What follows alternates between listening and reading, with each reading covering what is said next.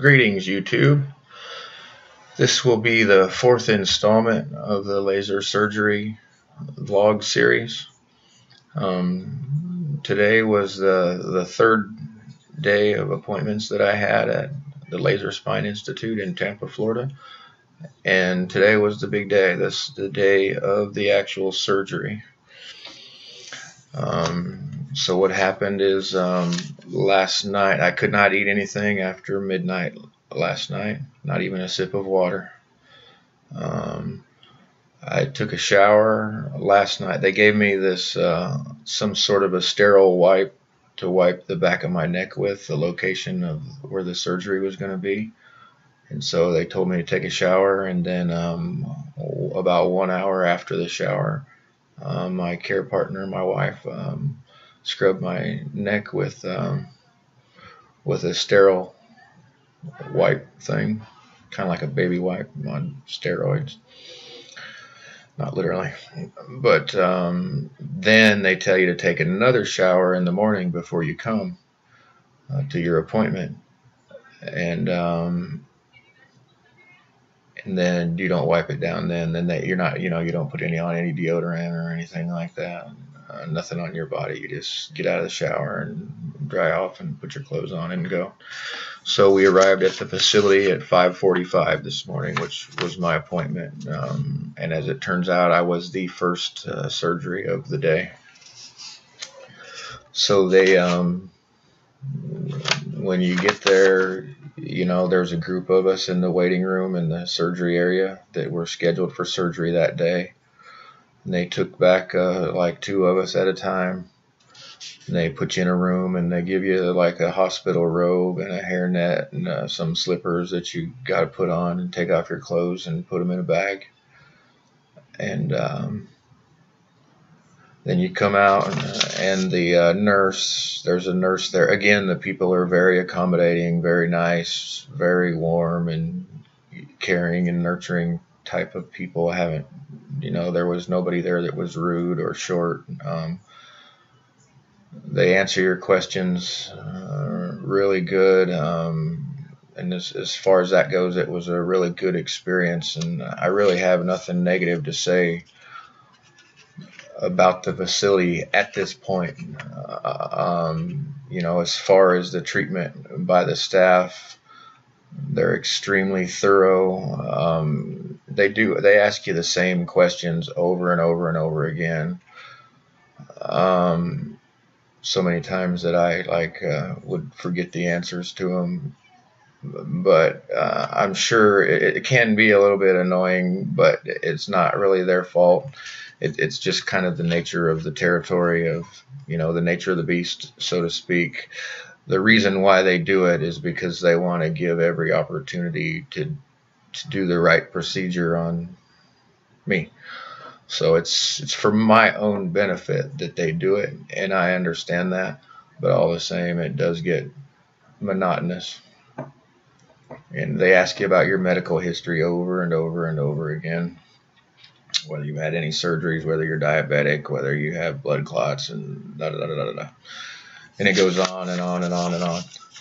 Um, so then I put on that uh, hospital gown and uh, hair net, and it wasn't really all that cool. I, I don't really recommend that, um, other than if it's necessary.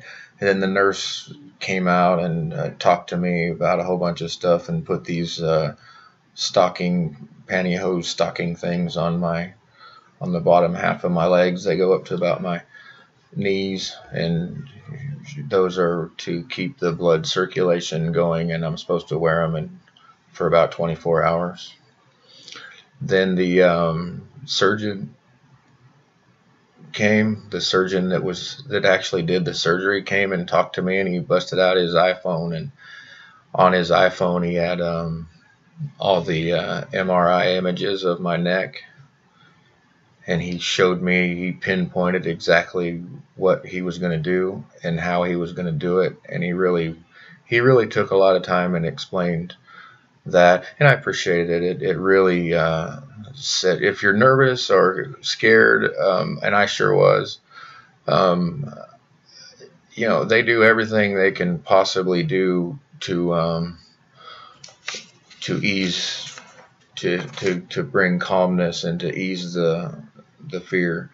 Um, and there and I still was pretty nervous about it, but um, you know, I don't think that there's anything else they could have done other than what they did um, to to make it a more um, calm experience. I mean, I, I mean, just it it was nervous to me just the fact knowing that some dude that I didn't even know was going to cut my neck open. Um, and I don't think there's anything else that on their part that they could have did to try to change that. But they, I mean, they they really worked hard with me and and and really tried to um, to uh, to ease my nerves as best as they could, and they did a pretty good job of it. Other facilities I've been involved with in with medical care, um, I did not have that same luxury, and sometimes I felt like they didn't really care about me, and uh, they didn't really care about me getting better. And I, I really did not get that impression from this facility. I, I felt like they really done everything they can do to. Uh, okay, I'm babbling. So they started IV and I don't know what the heck is in it. Um, at that time, there is some, I think there's some pain medication in it, and, and they told me, but it, I didn't understand it. It was some kind of medical babble. Um, and again, you know, things move pretty fast. There's not really a lot of waiting around. So then the um, the uh, the people, the other people come in. The anesthesiologists come over, two of them. One guy was working on me, um, and another guy was explaining to me that they're going to put this plastic tube down my throat to help me breathe. It's not an intubation tube. For those of you that are familiar with that, that is not. It's not the same thing. Um, it's strictly uh, as I, I I never did see the thing. They told me they were going to do it, and they told me that it would give me a sore throat, which it did, and I still do have a sore throat and I can taste like some sort of medicine chemical stuff in my throat that it's been there pretty much all day since I got out of surgery, and uh, I don't know when that'll go away, but it's kind of still there right now. Um, so he talked to me about that, and it has to do with keeping my air passages open or something like that. And um, so he talked to me about that, and then they uh, you walk into the surgery room and it's pretty scary looking, intimidating kind of place. They stopped at the bathroom to tell you to use the bathroom one last time. They um, you go into the operating room and it's very clean, very white, and very Star Trek looking ish. There's a lot of uh, space age looking machinery in there, and um, and it's but in the the worst thing about it is it, it, was cold in there. I mean, very, very, very cold in there. I, and then uh, you lay down face down, obviously, because they're working. In my, my case, they were working on the back of my neck, and uh, I presume most everybody, you know, lays face down. And the bed's got got a hole in it, so you can see the floor. And then um, they kind of start the uh, whatever chemical it is that puts you out and I could hear people talking. They they done some. Uh, they stopped and you know they want to make sure that they're working on the right thing and so the surgeon actually takes a marker and marks on the back of your neck his initials and what's the procedure that he's doing. And uh, an abbreviation of it. Um, and then they they go they go through that again. They they really um, re- they're really redundant with that with and which we're glad they are because you would not want them to work on the wrong part of your body. That would be obviously a problem and I remember looking at the floor and I remember hearing you know a few more things and next thing you know from my perspective I was waking up in the recovery room I remember absolutely nothing about going to sleep. I don't remember like getting drowsy or anything like that. I remember nothing about the anesthesia. Um, I don't remember getting dizzy or anything like that, and I thought I might because I've heard people talk about that before. But the next thing I remember, I was waking up and, and I was now no longer in the operating room. I was in the recovery room, and a guy was a few people. It was loud, and people were talking to me, and they kept saying, "Rod, Rod, wake up! Are you there? Are you awake? Are you awake? How do you feel? How do you feel?" And uh, they're feeding me um, anything you want. You can have drinks, or I think I think maybe they even offer you some snacks. I can't remember, but I didn't want that. Um, I got some apple juice and some coffee. The coffee was really, really good. And um, so they pretty much lavish you with that kind of stuff. They uh, they have uh, it's cold in there too, but they have you in a blanket and they have like some sort of a little heater blower thing, like inside of your blanket, and so it keeps you really warm.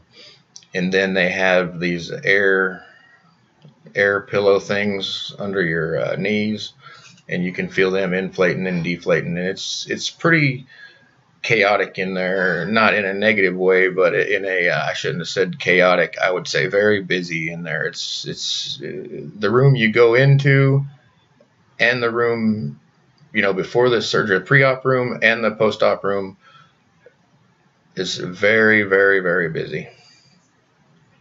A lot of activity going on in there. And um, so it wasn't too long and they let me move to another chair.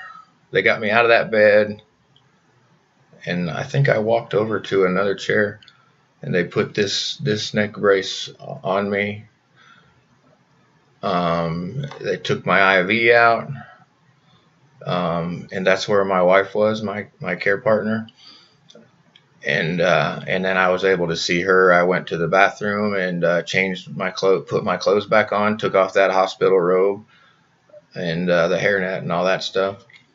And um, my wife helped me get my clothes back on, and then we sat there a while longer and had to wait for the anesthesiologist. He, he was very busy, but really the wait really wasn't all that bad. If you're used to medical facilities and hospitals, I would say the the waiting is minimal compared to most other facilities. Uh, uh um, if you go to a conventional, normal, traditional hospital, the waiting is hours and hours for every, and that's just not the case here. So I would say that that's a positive. I don't really have anything negative to say um, about the Laser Spine Institute uh, so far. Um, how do I feel? This is the, the important part. Um, at this point, I'm calling the surgery a success. Woo! Um, because uh, the wound, the actual surgical area is sore. It, it appears you know, and keep in mind I'm still somewhat sedated and and you know there's bandages and et cetera, et cetera. That um, I mean I'm not ready to go run a marathon, but it does feel like there's a tremendous amount of pressure off of the nerves. The, and the I had the compressed nerves, pinched nerves it does feel like there's a whole lot less pressure than what there has been. Um, so I'm kind of cautious about saying 100% that it's a win, but it does seem I, am calling it a success at this point. Um, at this point in time, it, it does seem like I'm remarkably better than what I was. Uh, I'll, I'll, say that. Um, tomorrow I'll I'll continue to uh, to see is this uh, and you know right now there is pain right now, and I'm not really sure. You know, I I think it seems like it's it's more pain from the surgery itself than it does than it is from the pinched nerve um, that was there before. I still do have a bulging disc in my lower back um, that was not treated. They do not treat two different areas at the same time at, on the same surgery, and I don't really think anybody does, um, but definitely not in an outpatient surgery setting. Um, so I'm calling it a win at this point. I'm calling it a success. Um, right now I'm feeling good about it that I came. Um, and at as right now, I, am saying that I, I would recommend it um, uh, to to most people. Now that you know there are people that have not had that great of an experience, and, and I understand that. Uh, and I read it, and you can read about them online. Um, at this point, I'm saying that uh, my experience has been positive um, thus far. So, um, thank you very much. I have a whole series uh, about this uh, procedure if you're interested. Um, you can look it up and online and, and uh, on my YouTube channel. And uh, if you're not subscribed, um, if you want to subscribe, and then you'll know when when I put put any more videos about this subject up. Uh, and I know there will be a few more to come. And um, if you'd hit the like button, that that kind of helps out the channel. Um, if you feel so inclined, um, if you have any questions, uh, you can ask ask me questions about it, and I'll uh, and I'll answer to the best of of uh, to the best of my ability based on just just one experience that I've had. Keep keep in mind there's thousands of experiences and mine is just one. So uh, keep that in mind. Thank you very much. Have a blessed day. Thanks for watching.